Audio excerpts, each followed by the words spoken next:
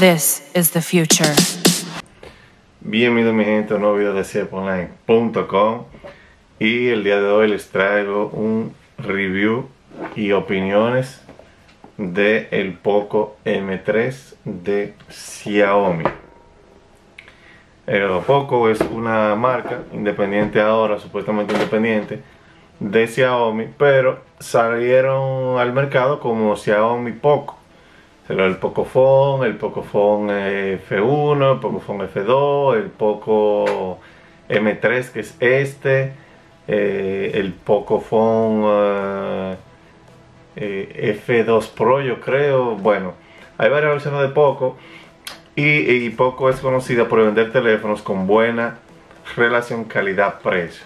Regularmente a estos teléfonos le falta algo que tiene el nuevo Poco M3, que es un excelente precio y una batería de 6000 mAh.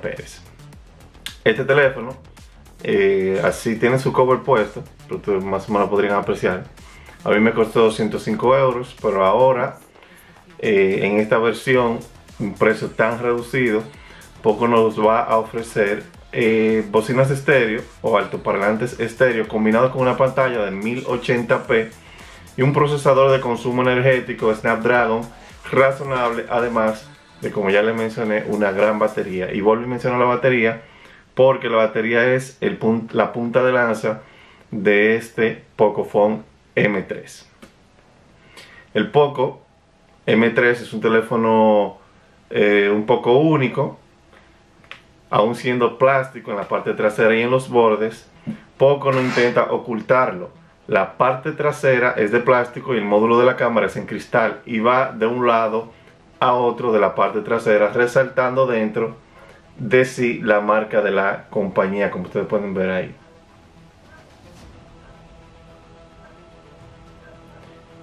El plástico usado simula cuero y hace que el teléfono sea menos resbaloso y bastante cómodo en las manos. Aún siendo plástico, pesa casi 200 gramos y esto es gracias de nuevo a la gran batería que incluye.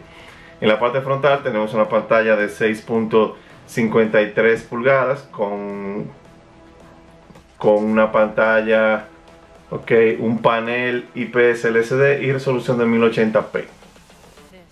Que es, para que no se equivoquen, la misma resolución que soporta el nuevo Galaxy S21 de Samsung.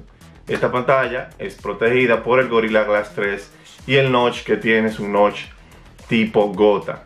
En pleno sol esta pantalla es casi imposible de ser utilizada, un poco incómodo realmente.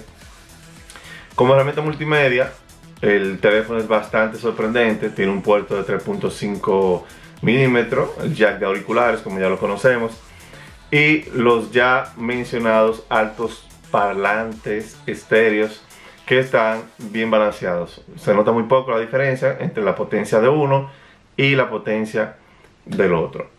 Hablando un poco de la batería y de la carga, ya hemos mencionado que la batería es de 6000 mAh, pero esto dificulta que el teléfono cargue tan rápido como muchos de los teléfonos anunciados recientemente en la gama media baja.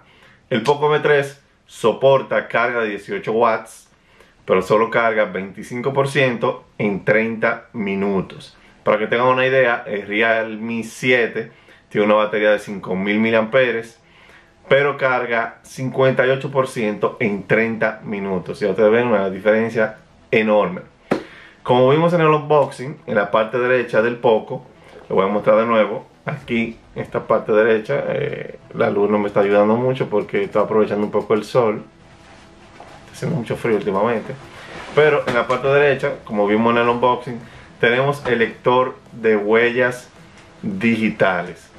Eh, funciona bastante bien es un poco incómodo configurarlo porque por ejemplo cuando usted configura en el Galaxy, usted configura el fingerprint en la pantalla, el lector de huellas en la pantalla, usted le da y siempre usted va a tener el mismo dedo, va a utilizar siempre los dos pulgares y a veces el, dedo índice, a veces. Aquí, por ejemplo, depende de cómo usted agarre el teléfono, usted va a tener que configurar esta, el índice, va a tener que configurar el pulgar de la mano derecha. No creo que usted vaya a agarrar el teléfono para desbloquearlo con el pulgar de la mano izquierda, entonces Depende de su utilización, entonces va a tener que elegir cuál huella configurar y esto a veces es poco intuitivo, teniendo en cuenta dónde se encuentra localizado el lector de huellas para este teléfono. El lector funciona rápido, pero la experiencia es que a veces se siente un poco lento y es por las animaciones que tiene cuando usted desbloquea la pantalla. Las animaciones usted puede desactivarlas en el software para que no se muestren durante el desbloqueo del equipo. La versión que yo obtuve del Poco MS3 es la de 4 GB de RAM, 64 GB de almacenamiento. Este almacenamiento puede ser ampliado vía tarjeta micro SD y también tiene usted la opción de comprar el Poco de la versión de 128 GB que cuesta unos 30 dólares más. Este smartphone en la actualidad puede correr sobre Android 10, Android 10 perdón, con la recién actualizada capa de personalización MIUI 12. Tuvimos algunas actualizaciones que mejoraron el desempeño en algunas áreas claves del teléfono y esta actualización ahora es la 12.0.5 de MIUI.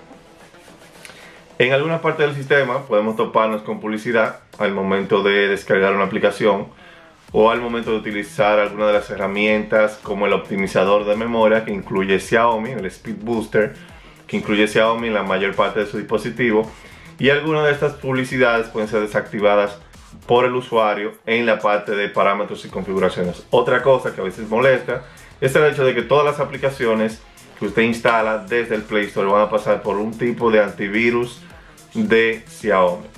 El procesador es el Snapdragon 662, un procesador hasta donde tengo entendido reciente, relativamente reciente.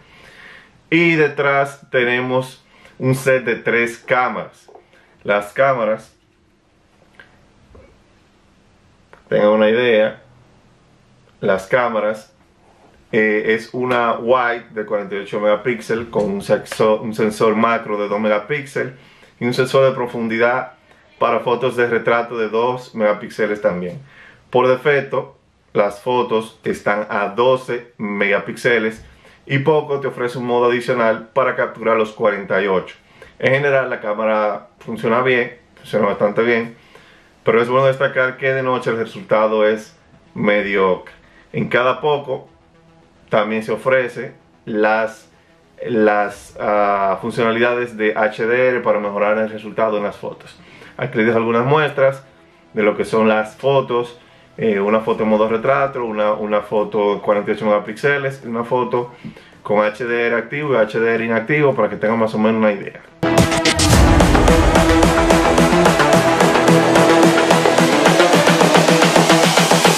This is the future. Prueba de la cámara frontal.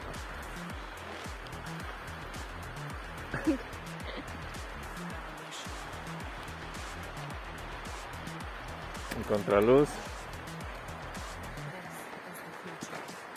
Y ahí normal.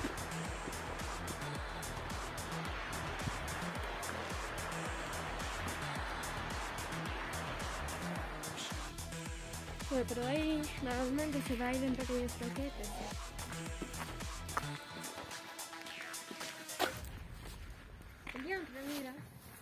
Agua está helada.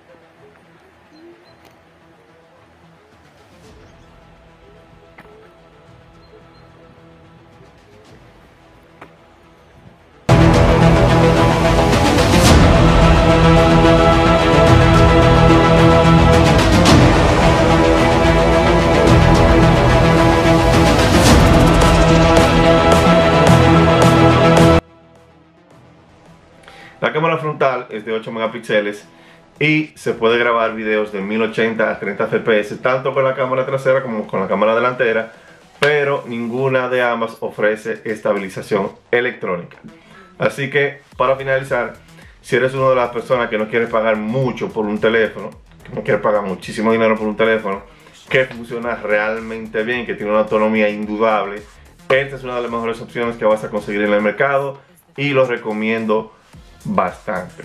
Este ha sido mi gente, mi, mi revisado, mis reviews, mis opiniones del Poco M3 y es un teléfono que cumple muy bien con las cosas básicas de un teléfono. Excelente calidad de llamada, excelente audio, eh, eh, excelente capa de personalización. Me parece un teléfono razonable por el precio que ofrece y por la calidad también y la experiencia que te ofrece al utilizar el teléfono por un tiempo prolongado. Esto sabe mi gente, si les gustó el video dale like, comparte si usted cree que le puede a alguien más y no olvide suscribirse a mi canal para más videos de este tipo. Hasta la próxima.